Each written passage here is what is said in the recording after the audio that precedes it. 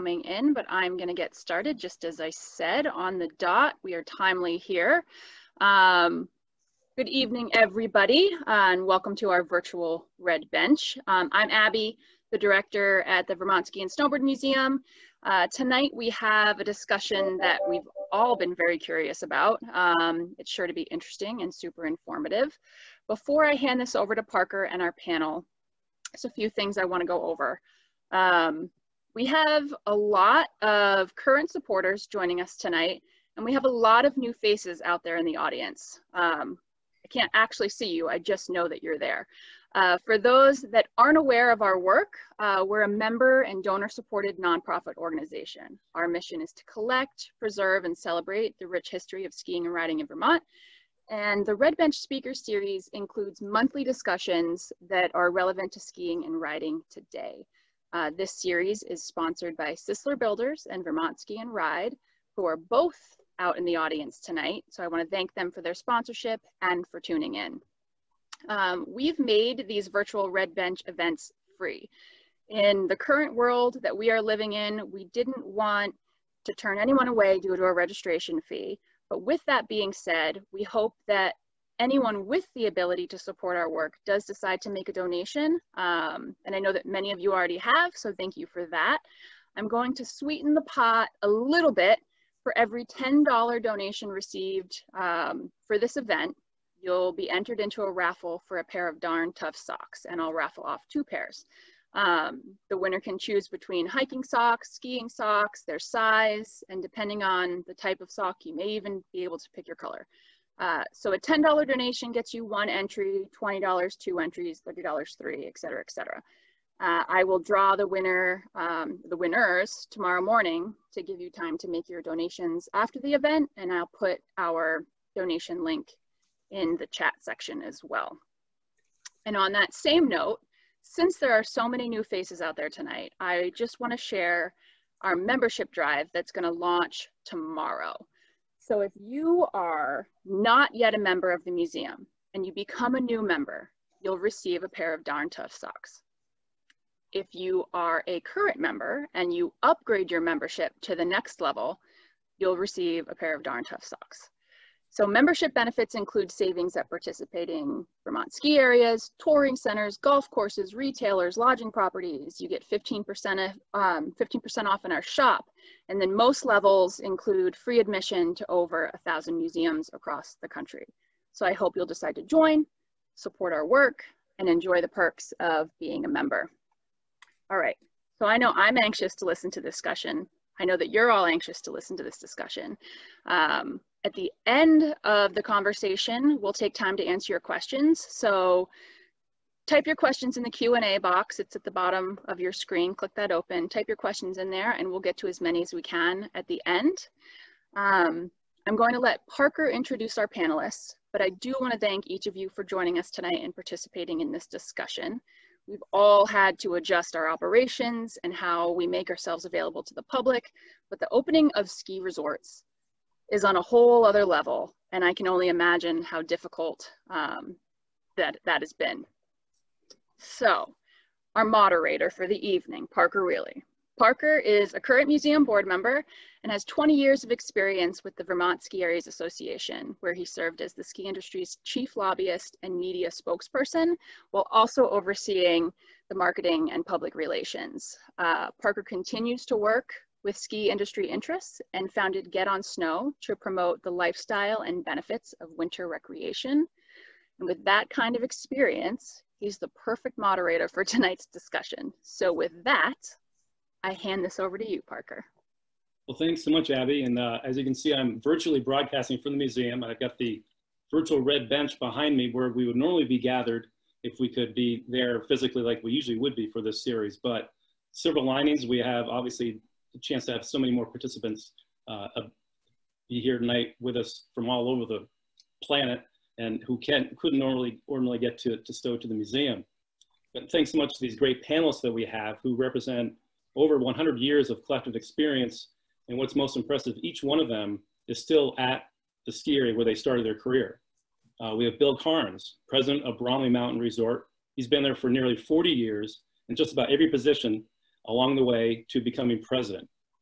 Bill Stritzler with Smuggler's Notch. He's the, been the managing director there since 1987 and has owned the resort since 1996. And John Hammond, the brand new president and COO of Sugarbush, though he's not new to that mountain, he's been there since 1991 when he started there as an intern in the marketing department. And like once, like Bill Cairns has uh, been in just about every job since uh, before filling the top role left uh, when Win Smith just uh, recently uh, resigned. So there's a lot of st at stake here as the panelists well know and really everybody in the audience I'm sure knows. Uh, Vermont's very proud to be the fourth largest ski state in the country with on average about 4 million skier visits. And those skier visits generate over 900 million in direct spending throughout the course of the winter, two thirds of which occur off mountain in the surrounding villages and towns. Another $700 million is generated through indirect and induced spending by virtue of that skier traffic. But the reality is 80% of those 4 million skier visits do come from out of state. Individual resorts have different percentage experiences, but the overall number is 80% out of state. And most of those are from Boston and the tri-state area, which when you look at the travel map are still glowing yellow and red at this point. We obviously hope that will change and improve and be, and be alleviated by the time snow flies. Uh, but that's obviously cause of concern for the resorts.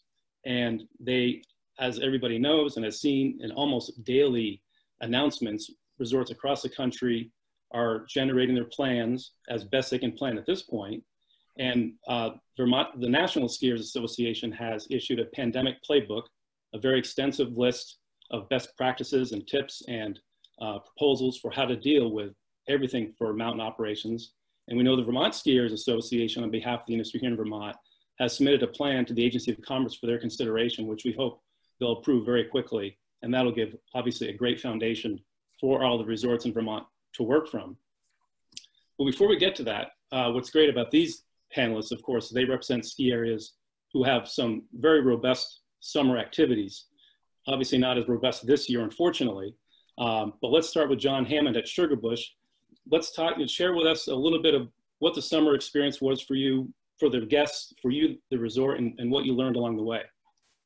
So uh, up here at Sugarbush, really we focused on getting our maintenance done early and trying to get right on it. So we've done a lot of capital projects, um, sort of behind the scenes stuff that people wouldn't realize, gearbox and Bravo, new electrical drives in a couple of the lifts, and really we already have half of our lifts inspected for winter. So we really have been on that side of it, and that's been the focus for us. Um, with the travel restrictions and sort of the pandemic hitting, you know, ma our main business in the summer is really, um, it's this, we have our summer activities, but it's weddings. And almost every one of the weddings that we had here this summer have canceled or postponed to the following year. So that really has impacted our lodging, our food and beverage, and you know the facilities just have been empty for that part. So we did um, we did open our golf course, and that has seen great um, great success. There's been really good member rounds and um, player rounds out there. We're up about 30% year over year, which is really good for us. Golf is not like it hasn't been like the strongest player for us in the summer. This year it's the only player, so it's the big winner. So um, we've done that, and then we've, uh, you know, we did our mountain bike trail maintenance and things like that in the event that we could open up. That didn't pan out for us with uh, sort of the restrictions that we saw in our, so our community and sort of the um, atmosphere that where we live. And but we did uh, get some cross country trails done, and it's been uh, a, a busy summer, but not with guests. Well, it's great, and golf really shows that uh, you know there's the pent up recreation demand that we know is out there, and that certainly bodes well for all the interest we know we'll have for the winter season. And you, you all you, all of you on the panel and all the resorts across the, the state provide the ultimate outdoor escape for uh, these these strange times. So thank you, John. Uh, Bill at Smuggler's Notch. Obviously, you've got an incredible array of summer activities at Smugs. Uh, tell us a little bit about how that's been going, and obviously it's been continuing. I hope. Yeah, we uh, we do have a big summer program.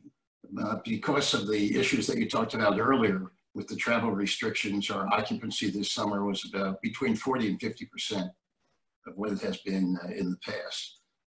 But what we learned is no matter what we plan at the beginning of the summer, it's going to look a lot different by the end of the summer because the way we guess the way the consumers are going to behave, typically we don't guess correctly.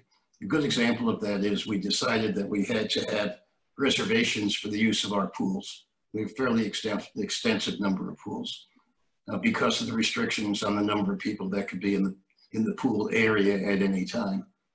And we found out that if you had a scale of one to 10 on whether that reservation system would be popular with the guests, it came in at around a two. Um, and the, the principal reason for that is that the guests made reservations and then they would uh, be no-shows. So those who couldn't make reservations would walk past the pool and see the pool was half empty and wonder what happened. It was because of the no-shows. So one of the things we learned this summer that you really have to be flexible in uh, whatever you think the services are you're going to provide. So by the end of the summer, we had figured out that if there was a no-show within 15 or 20 minutes of the appointed time, we just opened it up for whoever arrived, and that that did work a lot better. The other thing we learned that we're not sure whether this was actually a latent uh, desire on the part of guests or whether it appeared because of COVID. But we have a lot of activities that are guided. We have an employee that helps the guests through the activity, the guided walks, guided hikes, uh, guided the ball games. And what we learned this summer is that at least our guests made it pretty clear they prefer not to be guided and they prefer to, you know, kind of organize themselves. We get them to the playing fields. We have maps that show the walks, but they want to go on their own. Um, and that's not so bad when you're doing your personnel planning, but that took place during the course of the summer, and that was another calculation that turned out to be different. So as we think about the winter, we really are thinking that whatever it is that we're planning as our entire industry has specific plans, we better be ready for the requirement to change it during the course uh, during the course of the winter. Um, the other thing that I think we all uh, experienced and we're concerned about is whether guests would comply with the protocols that we have in place for the social distancing and uh, for wearing masks. And what we learned is that they watch our employees like hawks. And as long as the employees are complying, the guests feel that they should comply as well. In fact, because our employees were so concerned that the guests would not comply, that we had to set up a system so that the employees could call any one of the officers of the company, or actually one of us was, was assigned each day to be the person on duty in the event that a, a uh, employee was concerned that a guest wasn't complying with the protocols, because we definitely did not want our employees to confront the guests. And I could tell you at the end of the summer, there was not one call. So we didn't have to deal with it at all. The guests were very, very compliant. And they, in particular, they would say to us, well, you're wearing masks, so we think we should too. Those were the, the main lessons uh, relative to guests this summer. That's, that's great about the protocols that the guests were following uh, for the safety of obviously your employees and, and everybody. Because um, we've obviously heard some mixed bag stories of, across the country as to how uh, yeah. customers and, and, and, and other businesses are experiencing the, the, the, masking requirements. So that's great to hear. Yeah, there were, well, there was one other thing that we learned that's not new to the people on this call. Uh, we started out by thinking we would tell the guests that they were required to wear masks. Um, I would say that the guest reaction to that was at best neutral. But then we sent a message from the employees asking the guests to please comply to protect their families and the employees were wearing masks to protect the guest families. Would they please do the same? That did work. So asking versus telling uh, had an impact. Great, thank you. And uh, Bill at Vermont Sun Mountain, uh, how was your summer and, and uh, with all the activities you have down there? Well, we We've had a summer park for quite some time. Uh, we started the Alpine Slide summer 1976. The um, park opened, we opened typically Memorial Day weekend. This year we opened up June 27th, just before the 4th of July. Uh, I would say we opened, we have about 23 attractions, summer attractions, and we opened up about 12 of them. We didn't open them all up that resulted in less employment uh, for the local the local scene. It's um, mostly high school and uh, college uh, kids that work for us. Uh, the 4th of July, um, solid weekend. Our fiscal year, interesting enough, Parker starts May 1st. So it's like, how, how do you budget for this, right? So it was a little bit of throwing a dart against the wall. Um, we felt like we would start off July. Are we going to do 50% of normal sales, historical sales? We ramped it up. August is traditionally the bigger summer month. It's the February, if you will, of summer. Uh, we ramped it up a little bit and come to, you know, the two biggest days of summer were, was the Labor Day weekend. Um, it was, it was a nice, solid back-to-back days. We're only open weekends now to Columbus Day. I think we have like seven operations, operating days left. Uh, I would say we are 65% of normal to put a percentage on it, or a rough percentage. I, I'm actually pretty pleased where the summer came in in terms of revenue. And with less attractions open, less payroll is the clearly the number one cost. Um, to be a little bit in the black is a good thing, and that and that's where we are we are right now. Uh, so cost control, cost control during uh, the situation that we're all in is is a huge factor. Um, uh, payroll management, cost control, what can you run, what's the cost benefit. Um, all of these things are part of everybody's discussion. Certainly they were in our case.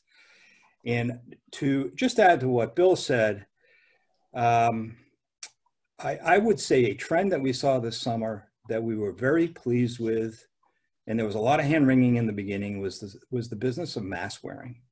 And it went really well.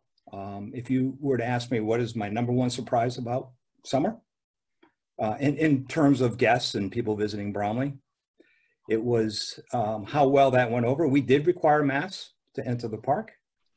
Um, we didn't message it just quite the same way that Bill did, but it, it was um, very well messaged on our website. And this is something we're going to have to do for winter, how we message the winter.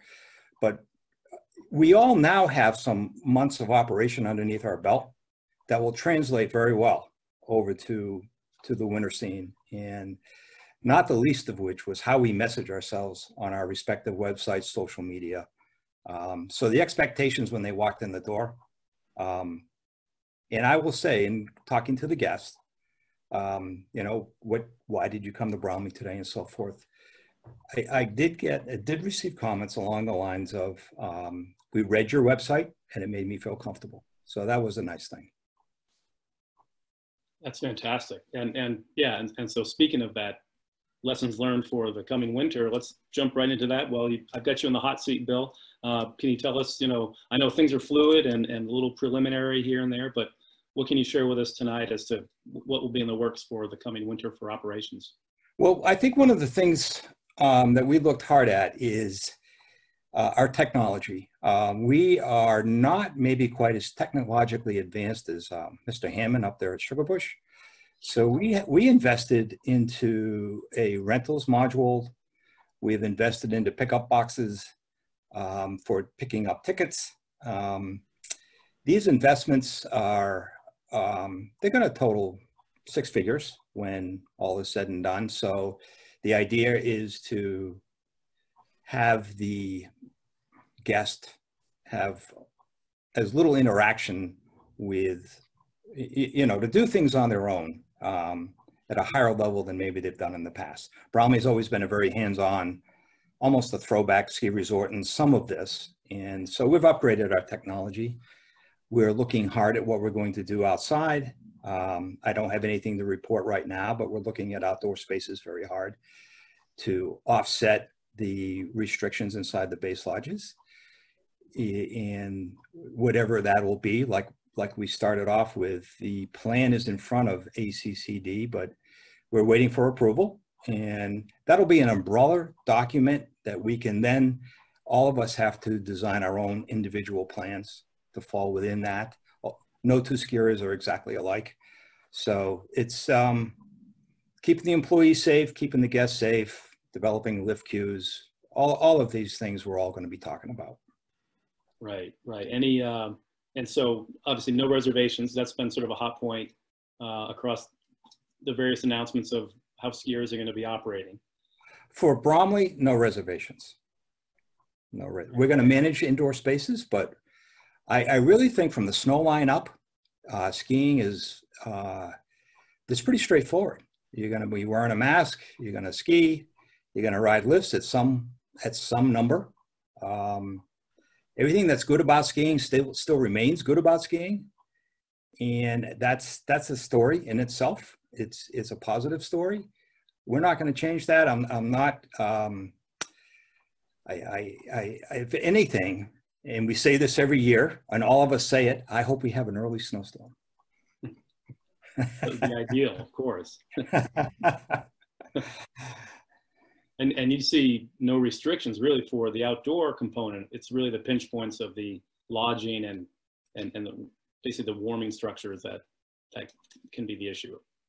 Absolutely. I mean, we're actually, we're talking about gatekeepers, um, managing the dining. In, in our case, and in, I think in most ski resorts, the pinch point is noon. It's the lunchtime. So say 11 o'clock to 1.30 or 11.30 to 1.30, quarter or two. So there will be a time management effort um, that has to happen during those times, whether it's 30 minutes at a table, 40 minutes at a table. It, it will be messaged. Um, it'll be managed. It, it, it'll have to be so that somebody else will have an opportunity to sit at that table. Um, we will certainly allow, um, I know there's a lot of talk about access to restrooms, um, the ability to boot up. Um, we are going to encourage people to boot up in their cars. I'm not going to make it mandatory. I am going to set aside some part of the lodge for people to boot up. It's impractical to think, for me to think, that all our guests are going to boot up in the parking lot. Um, so I'm not going to make it mandatory. It's it's um, certainly there'll be access to the restrooms. Um, you may not be able to hang out in the base lodge if I'm at max capacity, whatever that is determined to be, and and I will have people managing the situation. Keep in mind, um, this is about what we call red days. There's about 20 days a year when we're all very busy. Uh, Christmas holidays, weekends, February vacation week. And a given Tuesday in January, I, I don't think any of these management strategies are, are going to be crucial or critical. But on a, on a December 28th, we're on it. Right. So yeah, be kind of return to the Chevrolet chalets of the old days for warming up back in the car, maybe. There, will- there could be some of that. Yeah. If the lodge is full, the car is an option. Right. Right. And uh, we talked earlier, uh, getting ready for this. You're talking about some touchless ideas for uh, rentals, right? Uh, as people and or even getting their their tickets uh, in advance. Um, with, you know, so to cut back on on even physical uh, interaction with, with folks as they line up. Yeah, those are two areas that we have invested in. Uh, we're also looking at, uh, for the employees, we're looking at time clocks where you don't have to touch them. You announce yourself and it will also take your temperature and it's all recorded. Um, so, because part of our plan requires that we take the temperature of all our employees. If I have 300 employees or 180 employees on a given day, how do I take everybody's temperature reasonably? So we're investing in time clocks that are touchless, voice announce, and they will also take your temperature automatically. It's automatically recorded to HR and um, uh, HR would be notified or the super, they both would have an email if an employee announces himself and they exceed 100.4 degrees. Um, we will probably have a second temperature taken with one of the handheld devices to confirm. And then if the employee is allowed to, you know, from there, we'll develop protocols on what we're, we can do next. But the time clocks I'm talking is just another investment in technology that will help us perform our jobs in a safe manner.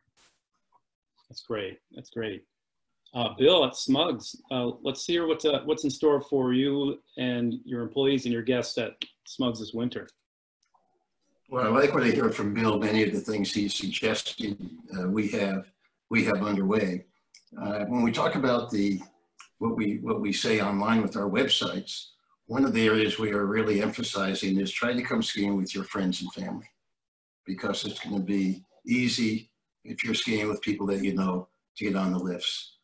Uh, I think the industry standard, and certainly our standard, will be that anybody who does not wish to ride with others will not have to. Uh, but other than that, we, we're going to accept the word of the people who come online when they say that they're uh, loading the lift with someone that they know. And better still if they've arrived with uh, members of their family or friends. So there'll be a lot of emphasis on that. Uh, we are anticipating that some of our lift line waits in the busy days will be longer than usual, that the loading won't be at the same rate that we've had in the past, and we'll be alerting our publics to that possibility uh, before arrival. Uh, Bill talked about the base lodge at noon. You know, of all of our uh, RFID technology says that the majority of our skiers and riders arrive at 10 and leave at 2. So it's a four hour window. So we're going to try to educate the public as to that fact and perhaps have those who can schedule their arrival date times differently so that they don't necessarily have to run into the, uh, the crunches that occur during those hours. And once again, it's what 10 days a year that you really have to be concerned about. And that, uh, that clearly is uh, weekends and holiday weekends, Martin Luther King weekend. Last year, you'll remember we had a big snowstorm before that weekend. It was quite, it was quite the scene. um, the other other piece of information that might be of interest is we ran a survey of our employees asking them their opinion of working at home versus uh, those who uh, came to work either because we asked them to or they had jobs that required we couldn't uh, pay the grass cutters to stay home. So they had to come in. But uh, many other jobs, the administrative jobs in particular, and the marketing jobs could be performed at home. And we learned that many can.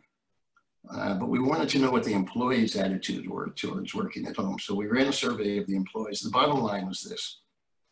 Um, employees like the idea to work at home but they very much would like to choose whether or not they work at home. They don't want the company to determine whether they have to work at, on site, and they don't believe that they should determine whether or not they work on site. They want it to be a negotiated schedule between their management and the company. And so that's what we're doing. And we're finding that's work that's really working out fine. That the employees are willing to have a discussion on what makes sense for both um, so in the, as we go into the future, we will have more employees who are spending more, more time at home. We asked them questions about productivity. We didn't ask them whether they liked to work at home or not. We asked them if they felt they were productive. We didn't have any employees who said they didn't feel productive at home. But, but we were surprised because we'd heard these little stories, as we all do, hear little stories on the side of employees thinking some other employees were not being productive at home. But the survey showed that wasn't true. Now, onesie twosie, sure, but most employees said that their experience working with others had been that uh, the people that they know uh, are as productive at home as they possibly could be. The one loss, though, that everybody felt, and I would suspect that John and Bill uh, feel the same, they felt a loss of uh, creativity because of the, the interactions that no longer take place, you know, walking in the hallways or meeting over lunch or where you're discussing issues uh, that uh, are best resolved uh, when you uh, walk in and meet an employee casually rather than on a Zoom call when you try to resolve things. So we haven't figured out how to address that creativity issue, but that was the only real, real negative that we faced. So that was that a few other lessons from the summer. Yeah, yeah, and uh, and for the, the obviously management managing the winter traffic, obviously with whether it's lift tickets or season passes, um, what's what's the plan with that? Uh, reservations? Um, no, we we like others like Bill. I think the day after the reservation systems were announced, we announced we were not going to have reservations. Now, we all are going to have to have systems that take care of those days when there are uh, more people who want to get on the lifts than we can comfortably handle. And we'll, uh, we'll have to deal with that. But uh, our attitude is that we're not going to have reservations. And furthermore, that we're not going to send people home. That whatever our systems are, if, uh, if we're unable to take care of your need right at this moment, we'll find a way to take care of it without having to send you home. Great, great. And uh, the queue for, for your chair lifts, um, obviously the plans will be for distancing four and, four and back and side by side and, and all that. And people naturally wearing masks outside anyway, which takes care of a lot of, lot of issues. Yeah, well, we're, um, as everyone knows, we're very fortunate to have all doubles. So uh, it's pretty easy for us. You just have to know one person to be able to ride on our lifts. Right. Excellent. Yeah, I think Mad River Glen will be the most compliant ski area in the country this winter. I haven't, maybe John or Bill know, I haven't heard the solution to triples. How do you load a triple 50%? Haven't heard. yeah. yeah, so, so speaking of Mad River Glen, we'll move over to their neighbor, John, at Sugarbush. Uh, can you share with us uh, your winter operations? And I think this is the first full winter where you'll be entirely on the Icon Pass, I believe is the another interesting dynamic for you to deal with as you're in your new position. Exactly. So just save the follow-up question. We will not be doing reservations either. there we go. Uh, um, and really, we're looking at that as we're going to be managing uh, the number of day tickets that we sell, and we're going to be putting all of our tickets online for advanced purchase. And that way, you know, we, we joke, Kevin Babick, our chief uh, administrative officer, you know, he's got spreadsheets for years about skier visits. And he, every week he gives out a skier forecast. And every week we joke with him, like, really, you were 30 days off, five days out. You know, what are you, what are you doing? You're really slipping. So he, he's really sharp on our forecasting. So we feel pretty confident that by allowing all of our pass holders unrestricted access, except for what's the, their pass restricts them, that we can manage the crowds that will make it a good experience on the mountain by limiting day tickets. And that's, so that's really our, our plan. Obviously with ICON and sort of some of the changes in our structure, we have to uh, give Kevin a little extra variable to account for. But, um, you know, I think that's, that's for us as the plan. You know, similar to Bill, uh, the Bills, we'll be, uh, you know, moving stuff outside. Uh, we've purchased a food truck and we're doing some takeout windows. We're going to be doing um, a lot of online ordering for everything to sort of eliminate queuing. So, you know, you can order your food from the cafeteria, pick it up, get a table, you know, A or B. We'll do advanced reservations for ski school, for rentals, same thing. So what we don't want to do is put 200 people in the rental shop. We want to get your reservations ahead of time, get your gear set up for you. We'll text you when your stuff's ready to get picked up. We'll walk you through in small groups as we go through it. That way you can, you're not, you're not wasting your day waiting in line. You can, you know, get out, be, be outside, enjoy the resort, see what's going on. And then when it's time to get your gear, you can come up and get it and that's that's you know to us you know i think you, bill was talking about sort of the the uh, the high touch and sort of guest experience that we all sort of work on here in vermont and that's that we're known for and it's it's really difficult for a lot of us to give up that that um, communication that we have with the guest and do it all online and have this sort of distance relationship with the customer. So we're working on it and trying to make sure that people are still going to realize they're in Vermont and that, you know, we're still the same people here. We just have a little different policy and procedure to get through the day. Tell us a little about the, uh, the, the pool cabana model you might be following this winter. I love this. yeah, so um, we, we realized that, like everyone, the base area is our pinch point. So while we're batting around ideas of how to do it, it's like, wouldn't it be great if you could have your own little base lodge?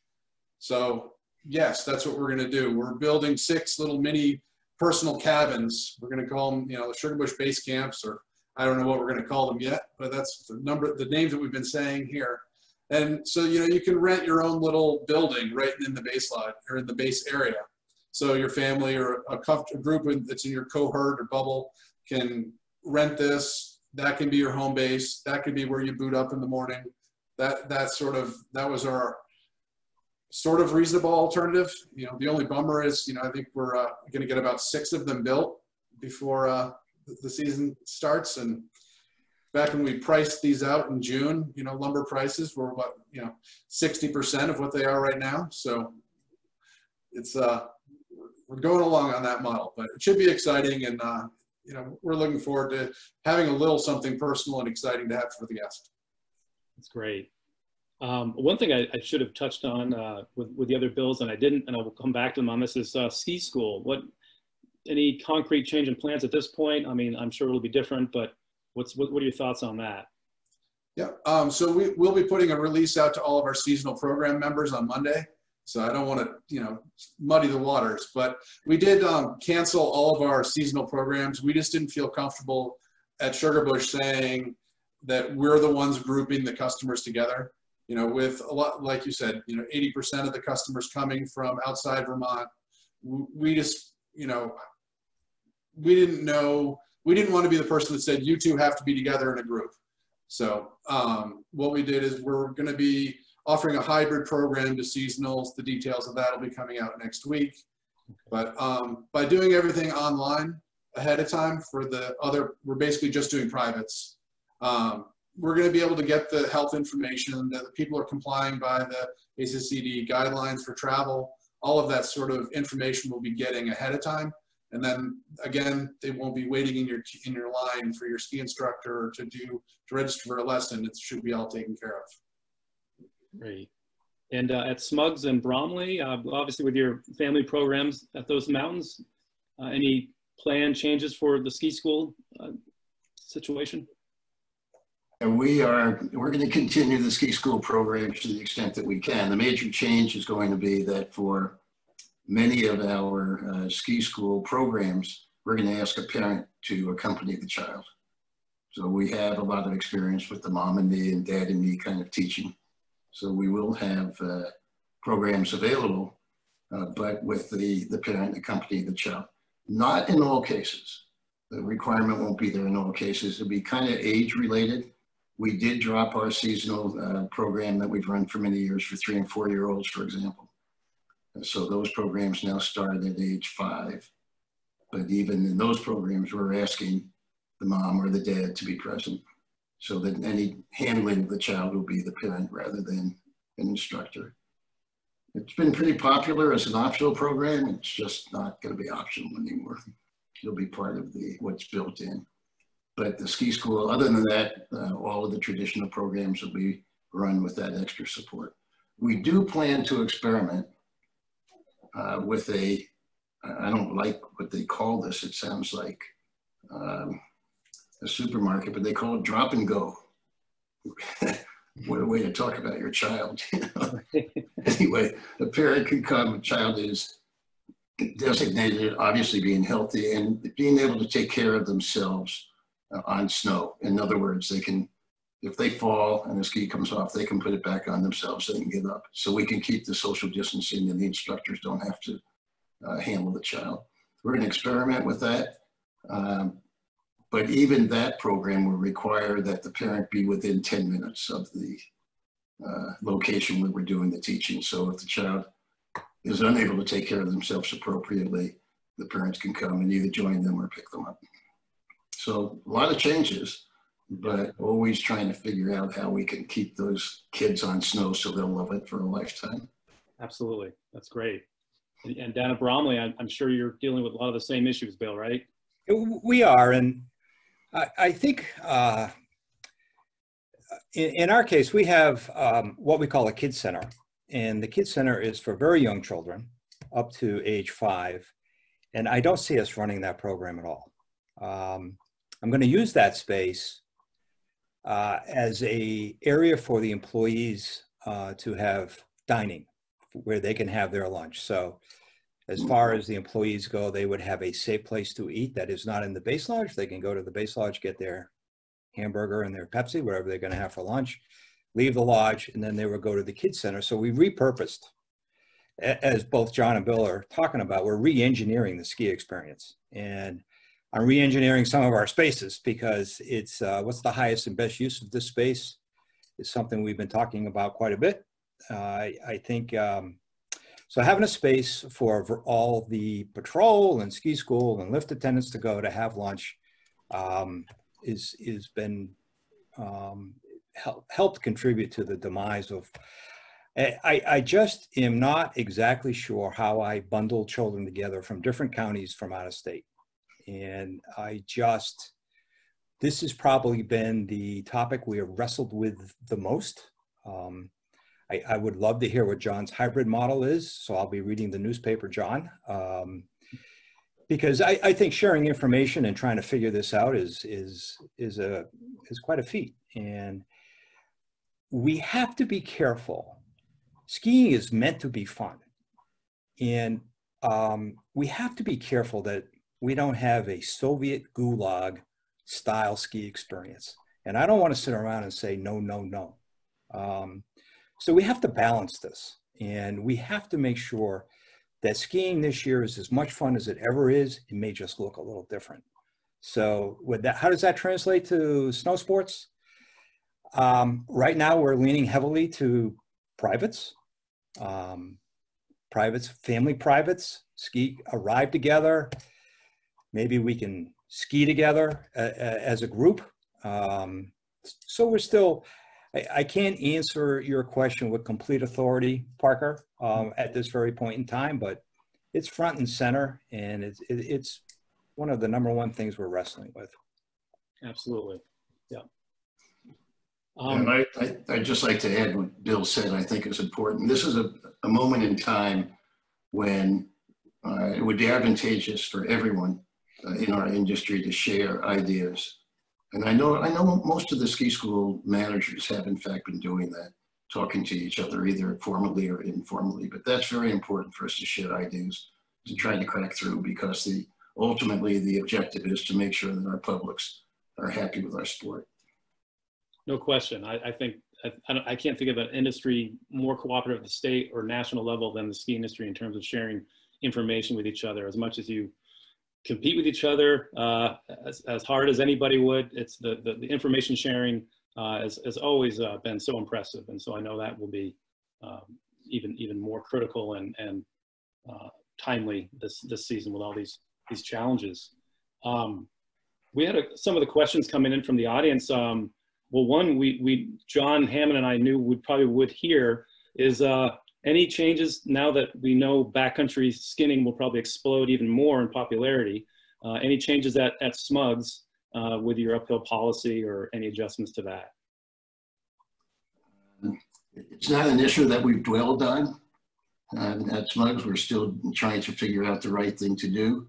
At the moment, it, we would probably say that uh, what we were doing last year is what we'll do this year, but I can't, you can't hold me to it because we don't have a firm policy at this point. Sure. And uh, John at Sugarbush, any changes there? No, we're going to go with the same policy as we had uh, last year. Um, we have been exploring different options, um, but really, you know, the key for us is the safety of the guests and the employees. And with our narrow New England trails that are going up and down, but people sometimes go down a little faster, we want to make sure we're avoiding any conflicts. So um, for right now, that's the that's the case. No change. Yeah, fair enough. Uh, and Bromley, any changes there? No, this is a, this is a great question because it is definitely it's it's it's the one part of our sport that trends that equipment is trending up. Um, it's going to certainly be trending up this year. Uh, we will probably follow through with the same plan that we've had, but I reserve the right right to react to um, how it how it unfolds. Put it that way most of the crowd that skins is a well-behaved, follow the rules crowd.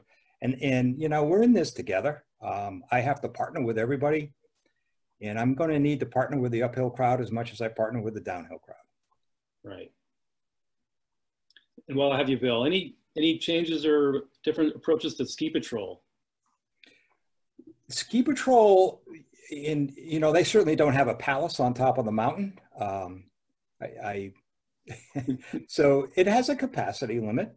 Um, the first aid room certainly has a capacity limit. Um, so going back to my kid center, um, your, the patrol certainly will be on top. They'll be out doing their checks out on the trails. And then they would have this space, this, it's almost this space that I am talking about, the kid center space being repurposed, almost acts like an accordion where it can uh, uh, take in employees, take in. So if I have a patrolman that has needs a place to go, um, because it's so different this year and we're re-engineering this, this is how we're going to handle it. Other than that, we're following NSP guidelines, um, PPE. Um, um, it, you know, one of the nice, um, there's a rhythm to the ski business. And one of the nice rhythms that I've always enjoyed is the refresher weekend that, you know, it usually comes up in October. It's great to see everybody you know, it's a great dedicated dedicated crew that we all have. They work very hard. They put a lot into this, and um, we all love our respective patrols. Um, so, keeping them safe, providing them with the safe equipment. Um, it's going to be weird not having um, holding hosting a refresher course. Everything's online these days. Um, so exactly. Um, so anyways, I, I, I don't know really what, what, what more I can add. We will be following recommendations from headquarters, National Ski Patrol, and, and then uh, watching out for each other. Absolutely. John, up at Sugarbush, what's uh, anything different for Ski Patrol you anticipate? Yeah, I mean, right now we're still trying to figure out if um, University Medical Center is going to be operating a clinic in our base lodge, you know, at the first aid room. Um, you know, we're still trying to figure that part of it out.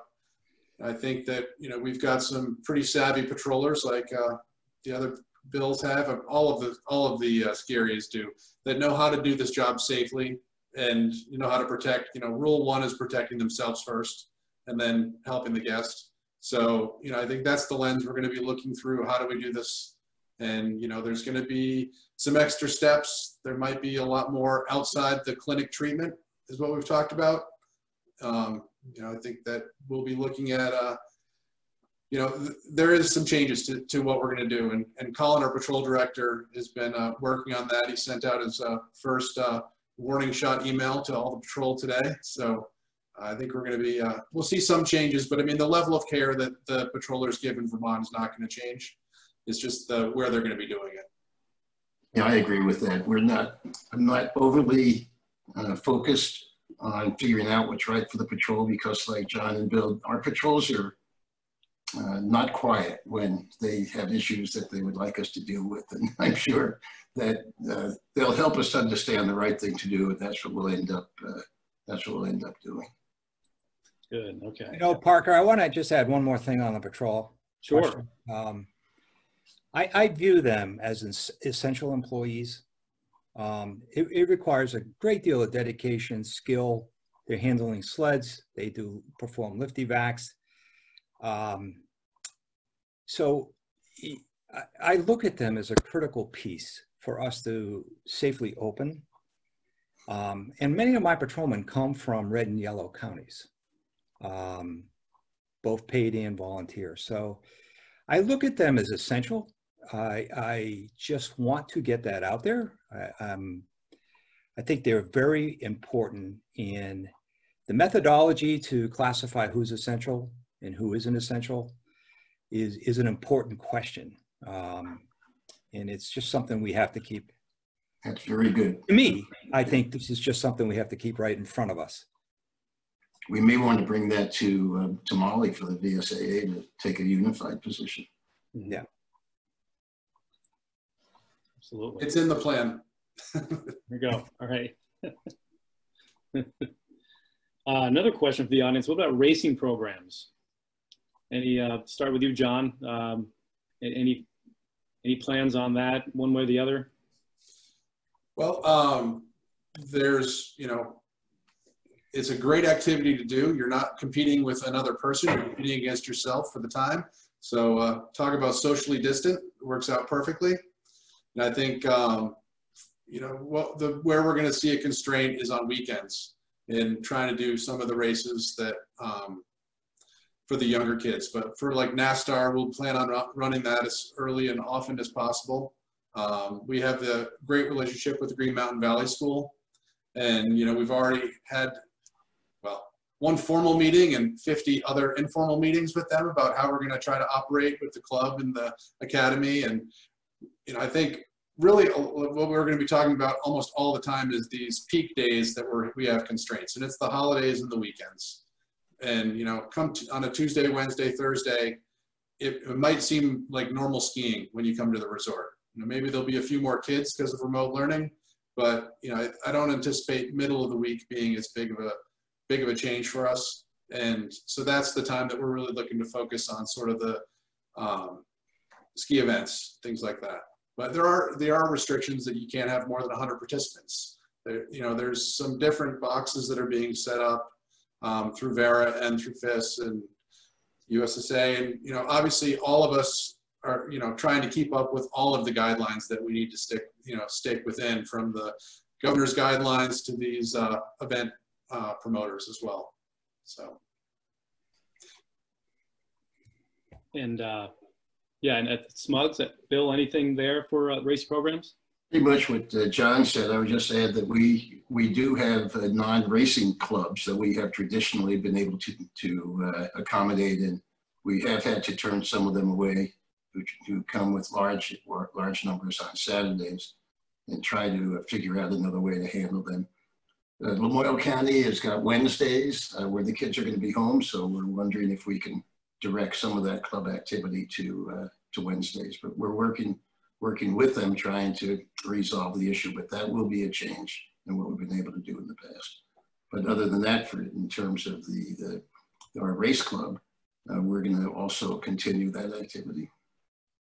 Got it. Okay. And and Bill, while I have you, um, as you were obviously talking about the busy summer you had and guests complying with masks and all that in a very positive way. And you and I had spoken earlier before this event about how you deal with out-of-state guests. You know they're coming from hot zones, or you you you may suspect, but the screening process is is essentially self-certifying. But tell us a little bit how that went this summer and and how you would be dealing with that this winter. That was a major major issue among the employees. And we had to decide exactly how we were going to handle it. And there are two two instances. One is when the, the guests arrive and they sign the compliance form. We're, we're simply going to believe them. Uh, realistically, we know that we have some, maybe more than some, will sign the form just so that they can vacation the way they'd like to vacation. So our emphasis, just as John and Bill, our emphasis has been on compliance when they are staying with us. So we're, we're not going to try to find out whether or not they told the truth on the forms. What we are going to do is make sure that they're complying with all the correct protocols while they are with us and that seems to have uh, that seems to have worked out. Plus the, the second I said there are two possibilities. The second possibility is we have had one or two this summer who said, I didn't quarantine, but I'm going to sign this form anyway. And that's not acceptable. And so when that happens, then the, uh, the person at our guest service desk is instructed to allow them to check in and then let an officer of the company know. And we will uh, will work with them to uh, to work it out so that they will probably end up leaving the resort. Mm-hmm. But we don't ask our employees to confront the guests. Right. Yeah. I, I just want to mention that you know on the compliance side and the enforcement side, there's a lot of people that have never just never left since March 14th. You know, there's their plates might be white, but they're uh, a local valley resident, just like the rest of us. And, you know, it's really hard to judge or be put in the position to make the, you know, to make the decision of telling if someone's telling the truth or not. So we really have to count on the personal accountability of the skiers. You know, we know that in general, skiers are good people, and that's why that's why we're all here, and that's why we stuck doing this job. And focus on making sure that they're doing the right thing while they're here. Exactly. Whether or not they did the right thing in, in signing the compliance form. Yeah. And you know, this is a shared. Eh, this comes back to the shared responsibility, um, whether it's summer or winter. It's it's a shared responsibility.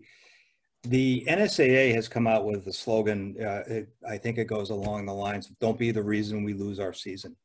Um, I'm going to trust if you're standing in front of my ticket office that you know the rules, that you I have messaged you, you have you have, you know it's a COVID, it's a pandemic winter and that I am going to trust that you have done your your responsibility, your, your obligation. I'm doing the best we can as operators. We're all doing the best we can as operators, but it's a partnership. And, and um, I, I really don't know much, what more to add. Um, but it's impractical to think I'm going to ask everybody coming up the sidewalk from the parking lot, where are you from? Yeah.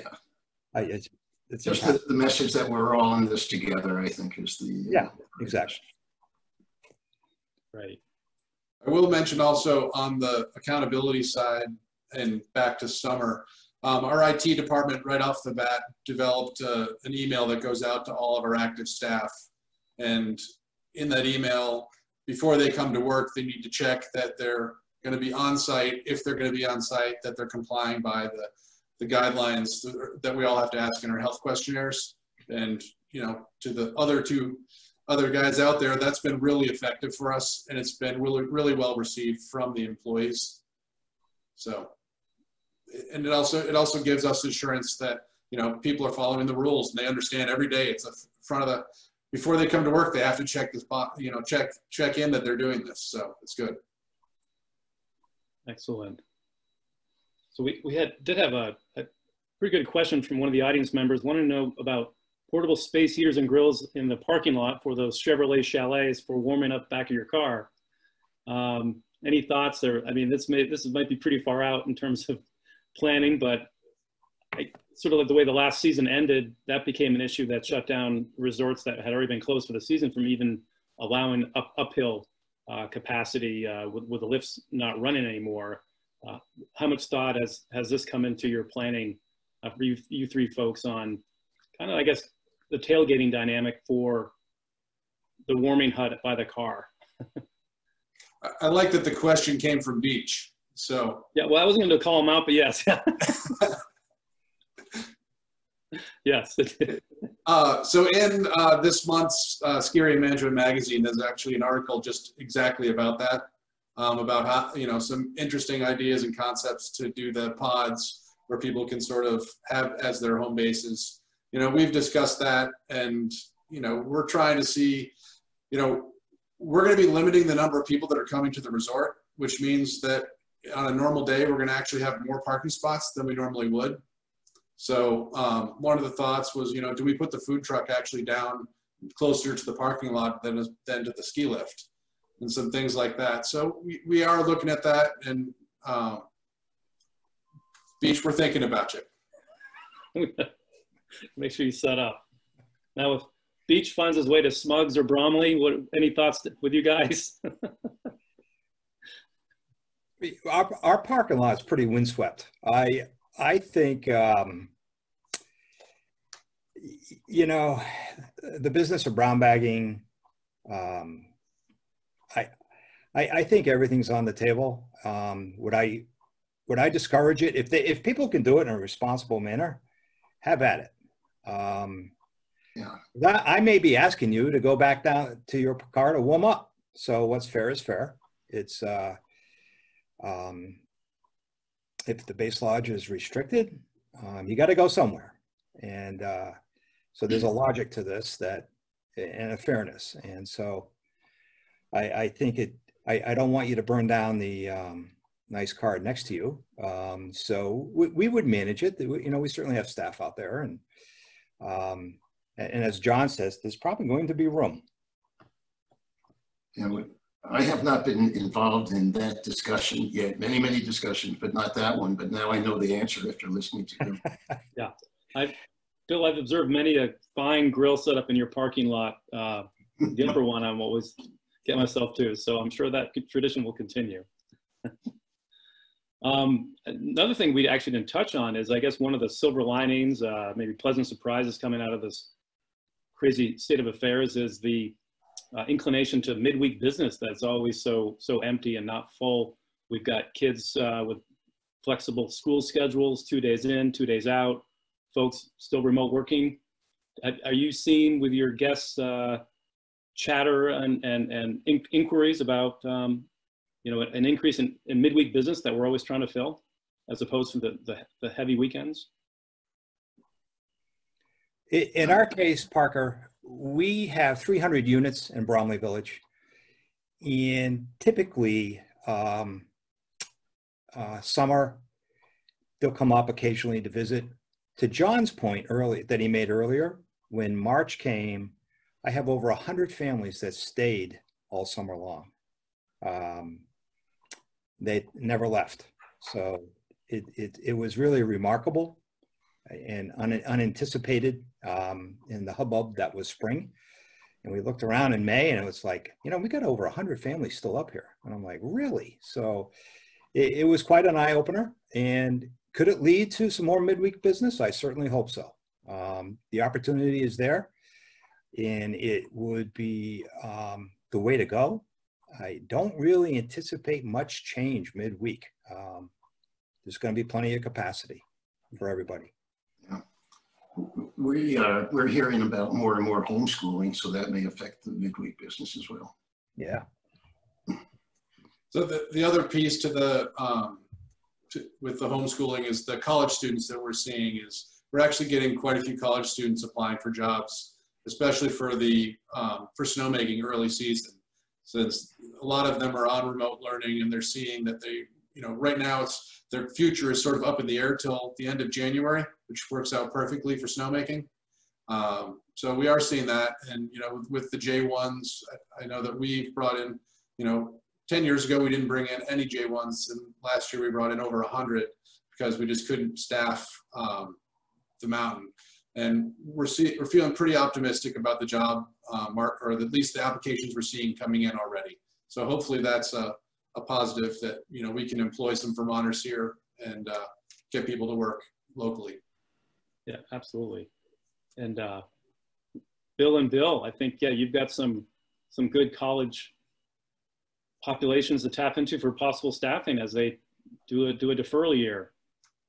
We certainly hope so because internationals are going to be rather scarce this uh, this winter. Right. Unless that unless that changes. You know, I think the the winter break is going to be unusually long. Uh, it's going to yeah. afford us an opportunity to staff pretty well from maybe Thanksgiving to sometime deep into January. Uh, we may be scrambling, all of us, a little bit and towards the last six or eight weeks of uh, winter, but the heart of winter, the Christmas week, I have pretty high hopes that um, kids are going to be home early, Thanksgiving-ish, and I don't think they're going to go back till late, and that's going to have to offset the loss of J1s because we're, we're not going, we're not going to have any J1s. Right. Parker, I see there are a number of questions about how we will be, I guess the word is treating those who have uh, special uh, requirements uh, that their physicians have have said that they should not be wearing masks or other issues that they are dealing with and how we will manage that. Yeah, there is a thread of questions along those lines. Is that anything? I think uh, we're all, I mean, we're all in absolute agreement that all comers are welcome to uh, use our facilities. And uh, the people who uh, have physical conditions that don't allow them to wear masks, we may ask them that they ride the lift without others, but certainly they're going to have uh, absolute access. They're more than welcome to uh, enjoy the sport at Smugglers and my guess is at the other areas as well. Right. And that's addressed in the governor's um, guidelines. So I think yeah. you know, it's important that we, we follow the guidelines and, you know, and that's clearly spelled out. So maybe exactly that answers the question. Yeah. And yeah, Bill, I'm sure you have the same thoughts. I mean, it's, it's really common sense and it, it's, it's guidance. It's legal guidance that we've been working with and dealing with already. And that was the case over the summer. And we had a few instances, they explained it. Uh, the, the summer experience is going to prove to be, uh, there's a, another level of confidence um, amongst my staff as we go to winter, now that they've had a summer under their belt. Um, there was a, a level of worry. Let's say we, like I said, we opened June 27th. How are these first few weeks going to go? Which has led to a more of a we got this kind of approach amongst the staff as we look at summer, uh, at, at, at winter and we're doing our winter planning because all of us have to come up now with our own individual plans as we talked earlier and those conversations are completely different and cut to the chase much quicker than when we were trying to plan for summer. So there's been an evolution and, and, and I think a little bit of confidence with, with the whole pro, with the whole process. Not saying we have all the answers, Parker. No. I'm just saying but experience is breeding some confidence that we can pull this off and pull it off. Yeah, I mean, this is a, a work in progress, as we know, and Right. uh, you know more now than you knew back in April or May, but you'll know a lot more certainly by the time the snow falls. Hopefully, we can hope for some relaxing of the travel restrictions by November. I know, Bill, you, you've indicated that would be a great help for knowing whether you're coming or going on some of your recreational seasonal programs. Um, and yeah, that's just a, there's a lot uh, that goes into those those restrictions that we do hope will be loosened in a safe way. That's you know priority number one. Um, but I know that's everybody's working on that. So So again, on the midweek business and sort of possibility of increased recreation, I see there's another comment about hiking and biking. And I know that the Mad River Riders just completed the study, or the planning district completed a study of the trails month over month, same time period, same, same trails. And we saw an increase of 30% in ridership um, over the summer. And you can't buy a cross-country mountain bike right now. So that's a good, or, or any bike. So that's a good indication that people are hopefully getting out there and recreating. And, you know, I think, you know, we would all love to see a little bit of a busier midweek, um, you know, a, a, a, more steady business flow as opposed to the, the just peak on the weekends. And, you know, I think that's going to be good for everyone if that does happen. absolutely.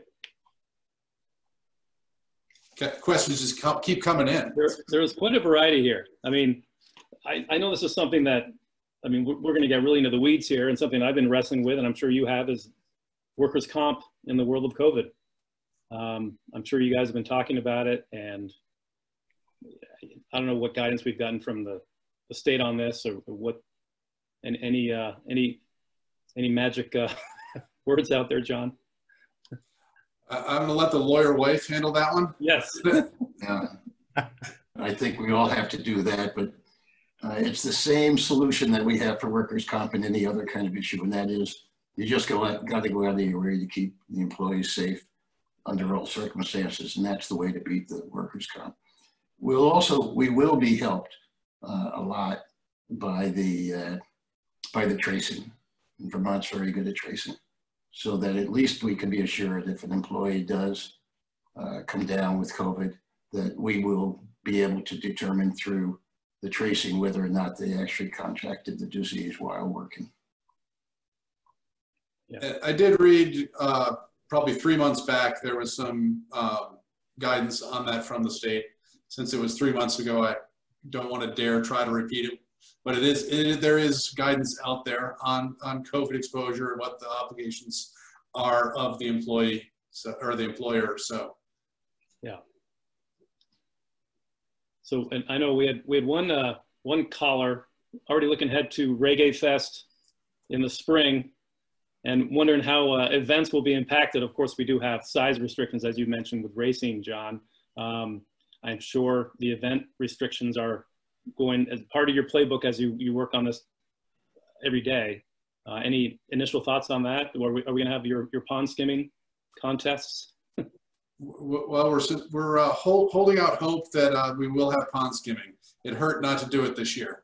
So, um, you know, there's some outdoor activities and, and events that we feel that can still happen.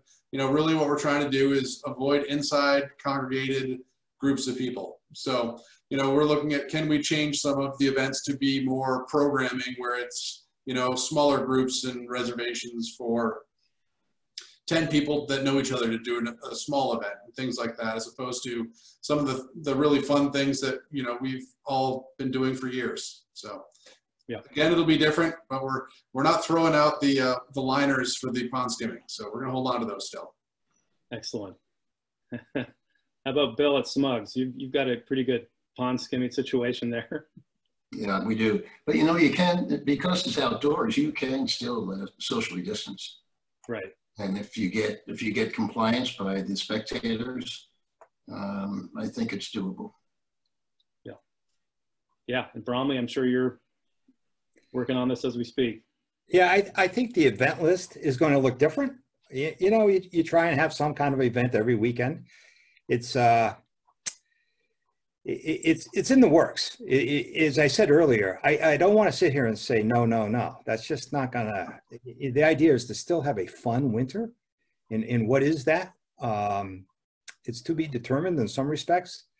I, I, you know, we have an outdoor deck. We have a really nice outdoor deck. I'm trying to figure out how I can make that deck a 12 month uh, experience um, as opposed to just a summer. So there's a there's a bunch of ideas. Um, they do require investments, um, but expanding our spaces, having some level of events, um, and we're still skiing is, you know, a lot of this is going to be somewhat along the lines of arrive, ski, and leave. There is that aspect to this winter. And, and I think a lot of people will follow that.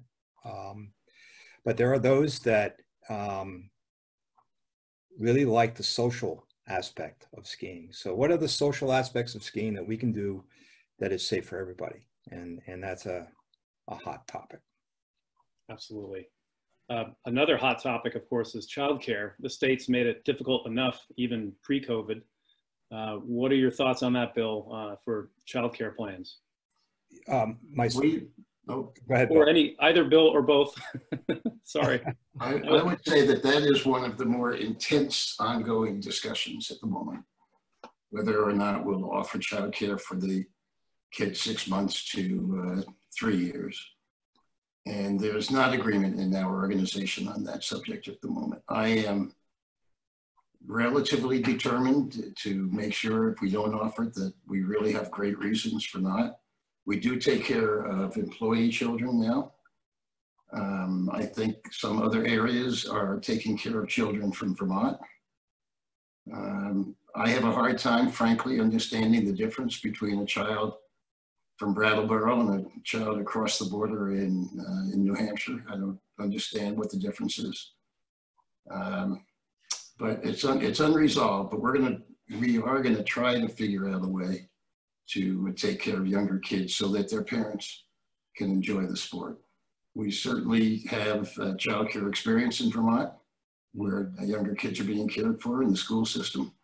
So we think that the, the real issue is whether or not caregivers are willing to take care of kids who don't come from Vermont. We're going to try to get that resolved. Great. John, how about at Sugarbush? How's it going with that? So we did re reopen our reoccurring daycare. So basically the kids that are enrolled um, month to month. So it's really, it's the local kids, the local families, and some of those locals have white plates because they've been here and become locals. But um, but we, as of right now, we're not planning. Um, it's not in our well, it's in our plan, but we're not planning right now to do it to open up the um, for regular just walk-in guests. You know, it's it's something that you know will be, you know, it'll be plan seven in the daycare uh, world, but or probably 407. But as of right now, we're just doing the the, reoccur the reoccurring children. And at Bromley? Yeah, that's the space, Parker. We're, we're as much as I, I'm chagrined to say this because we're known for families, um, and it's important, as Bill said, you know, start them young.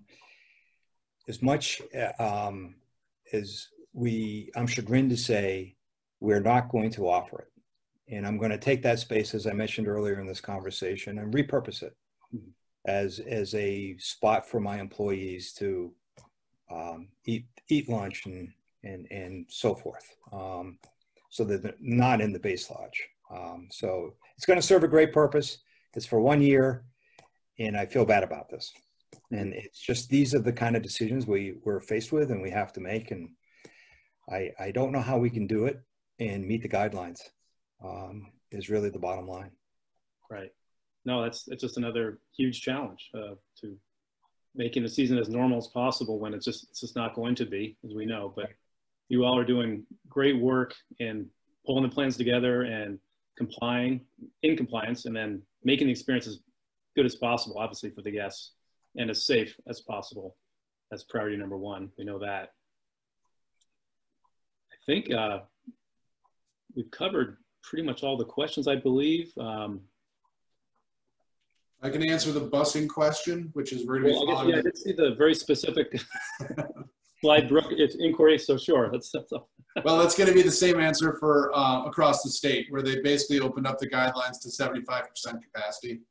So that's what the capacity of uh, public transportation is right now for for enclosed uh, buses.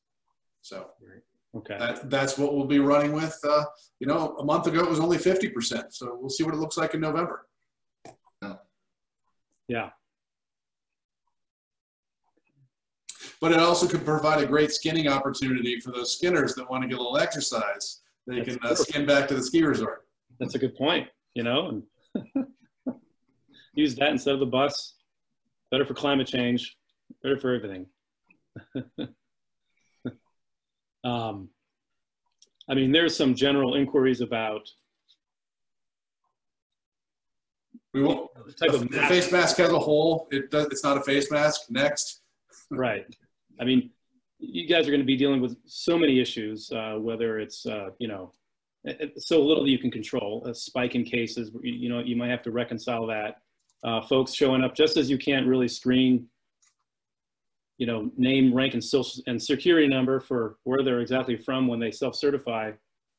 You just have to deal with masks on a common sense, case by case basis, I guess, right? I mean, it's, And, and, that's part of, for, I mean, not the mask part, but for us for tracing. Essentially, by not having an anonymous ticket, by pay, making people reserve in advance, you now know who that person is. So you know when they went through the gate. So you can figure out who was around them on, on the chair. You know, so it does, there is some information that would be, that is helpful for the contact tracing and for, you know, comf- peace of mind for people. right.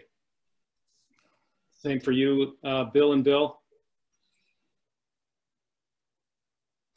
You know, we're not going to do what they're doing in the NFL and finding the coaches $100,000 if the mask slips down on their face. Right. yeah, that was pretty harsh, but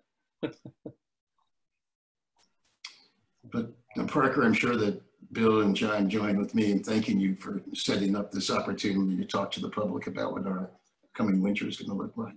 well, and I can't thank you enough on behalf of the museum for participating in this, this panel. It's a, a great discussion to have. And obviously, as everybody knows, I gather from this discussion, as you all know, of course, it's continues to be fluid, but just think how far you've come in the last several months and how much more clarity we will have before the snow even flies and hopefully clarity from the state on the VSAA plan, which hopefully will be soon. And of course, we'll all be hoping for some reasonable and safe relaxing of the quarantine restrictions for our, our core markets um, to get them here in the numbers that we want and provide the best possible winter in these strange times because you all provide the ultimate antidote, fresh air antidote, and plenty of spaces once get past the pinch points for the ultimate release of outdoor winter recreation and, and uh, just what people need. uh, you know, Parker, I, I think um, the concentration in Vermont has been to get the schools open. And, uh, and they've done a great job, colleges, high schools. Um, they've done a really good job. So uh, to the point where I think fall sports, high school sports start tomorrow. Um, I think the, the, the state's really looked at that very hard. Next up the bat is foliage season. So the governor opened up lodging to 100%. We'll see, you know, who can come here. But um, the idea is that that's the next big thing that faces us as a state. After that, the ski season is in the hopper. We're up the bat, and we were the we were shut down in March. Our turn in the batting order is coming up, and we're only a couple of months out. And there's some big decisions that need to be made, um, for sure. And we're right on the cusp. And let's see. And quite frankly, I, I think historically, and you may know this, Parker, better than anybody, foliage season may see the most people in Vermont over as a concentrated time period than any other season in Vermont. Is that is? Do I have that right? It's it's the short. It's the most concentrated for the the duration of its of its season. It's the shortest uh, shortest of the three major seasons. Right.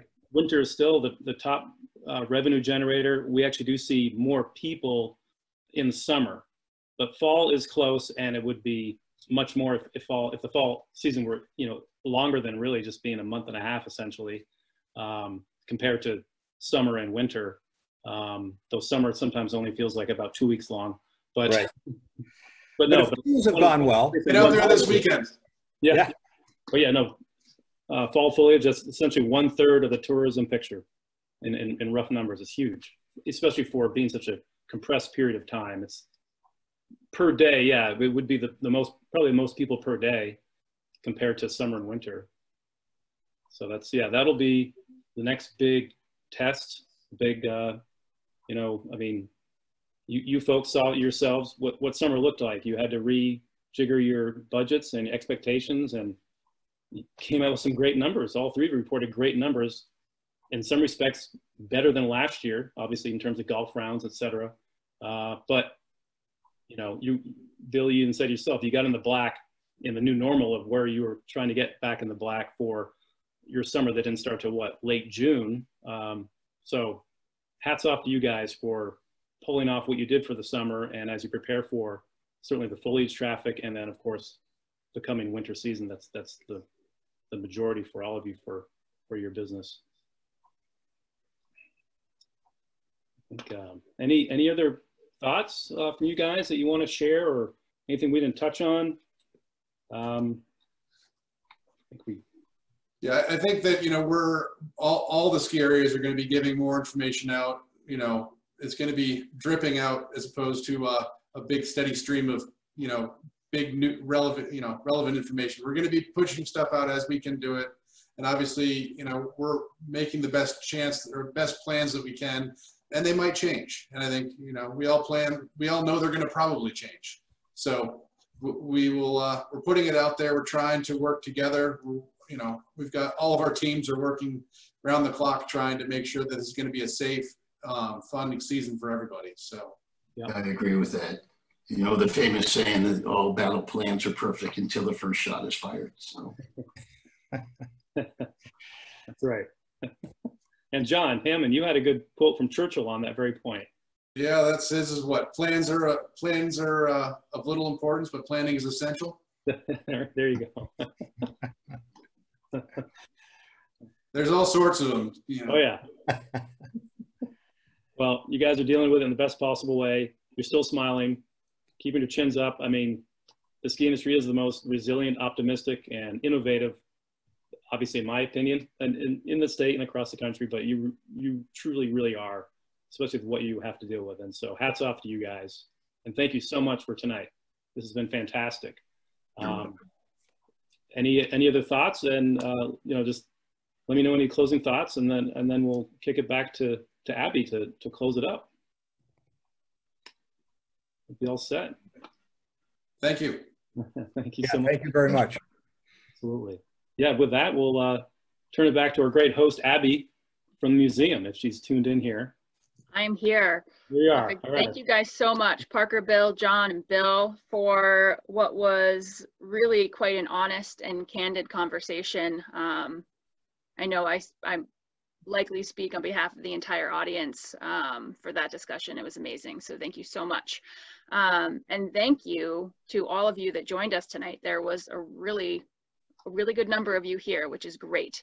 Um, don't forget your donation could win you a pair of socks. Um, the donation link is in the chat. Our membership drive launch is tomorrow. We'll be sending more information in our e-newsletter and social media um, on that. And these uh, Red Bench events are scheduled monthly. So we have um, one of these every month. The next one is in just two short weeks. So October 8th, we will have Olympic uh, commentator Peter Graves moderating a panel of Nordic skiers and discussing the past, present, and future of Nordic skiing. Uh, registration for that will open soon. So I hope you'll continue to join us on these talks. Um, and I just want to thank you all so much for being here. Really appreciate it. And that is it. Have a wonderful evening, everybody. Thank you so much. All right. Bye-bye. What?